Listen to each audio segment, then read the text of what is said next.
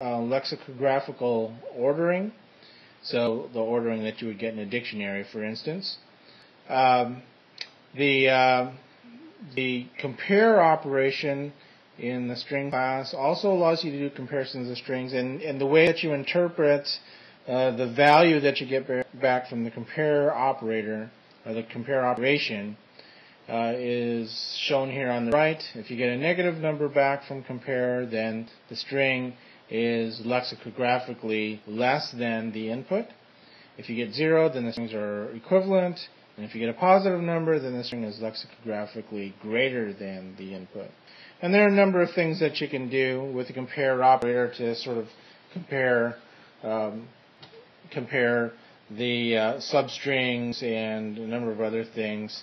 Uh, I've given the um, I've given the um, the signatures here, uh, but uh, you know they actually uh, probably looking at some documentation on them. You can actually Google them to find out what they actually are. But the I believe that the ranges of the integers basically give you the the substrings that you can do the comparisons upon.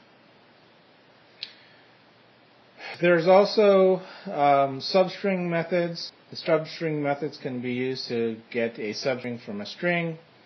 Uh, you can also do some swapping of some strings and some substrings. So the swap method will swap uh, the contents of two strings uh, with each other. So the signature for um, swap is uh, you pass this you pass so you have a string and you use the swap method. You pass in another string and then the the, the string that you've uh, um, operated this thing on will be the contents of that will be replaced by the input.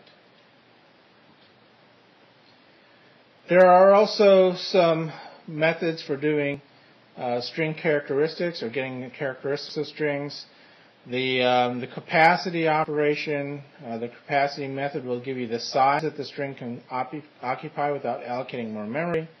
Max size tells you what the maximum size of the string can be, and that's so that's going to be um, same value on the same machine. So that's never that should never change unless you move to a different machine where perhaps you have more space.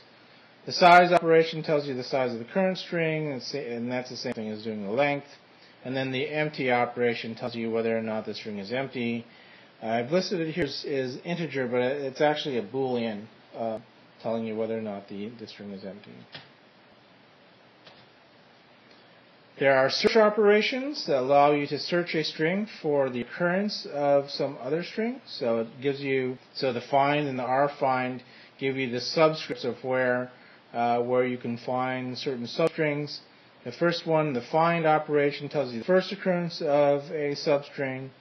Uh, rfind gives you the last occurrence of a substring. There's also find first of, which gives you the first the, the subscript of the first occurrence of any character in a string, and then there's a find last of, which gives you the subscript of the last occurrence of any character in a string s. Um, so, for instance, that uh, find first of it, if you have a string, it'll look for a, a string s. It'll look for any of the characters in string s uh, and tell you uh, where the first occurrence of that is in any string. And then the last uh, method here is find first, not of. Uh, same idea. If you have a string, any of the characters that's in there, uh, you'll get the subscript of the first occurrence of any character not in string S. There are replacement operations uh, that allow you to do things like erase the contents of a string starting in a certain place. You can replace certain substrings uh, within the string start by starting at a, a starting oper- or starting location and then placing a certain number of characters. Uh, you can also do a replace uh, where you replace like the entire contents and and entire substrings of uh, some input string, uh, as is shown here as at the as the last bullet in this slide. I will run through some examples of these in one of the upcoming episodes, so uh, don't worry too much about all these, but you know, do come back to this uh, uh, this podcast to uh, to look at um, what some of the, the possible operations are. There's also an insertion capability with uh, the string class. Uh, so you can insert a string at a certain position. This is sort of like doing some of the the substring operations. You can also do a insertion of a string in a certain range, uh, starting at a certain index.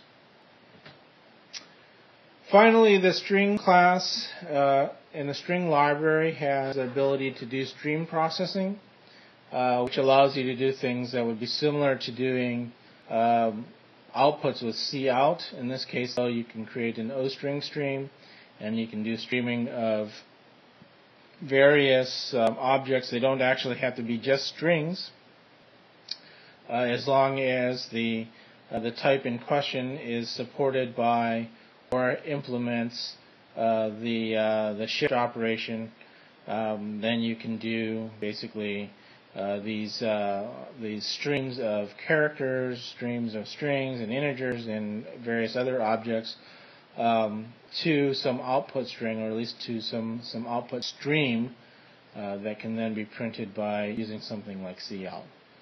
So um, Anyway, so the string the string class, the string library, um, is actually quite powerful. It's actually very similar to the string class in in Java, um, and uh, it does make a, a, lot easier to do string manipulation than if we were just using char stars. So, anyway, that's the conclusion of this episode.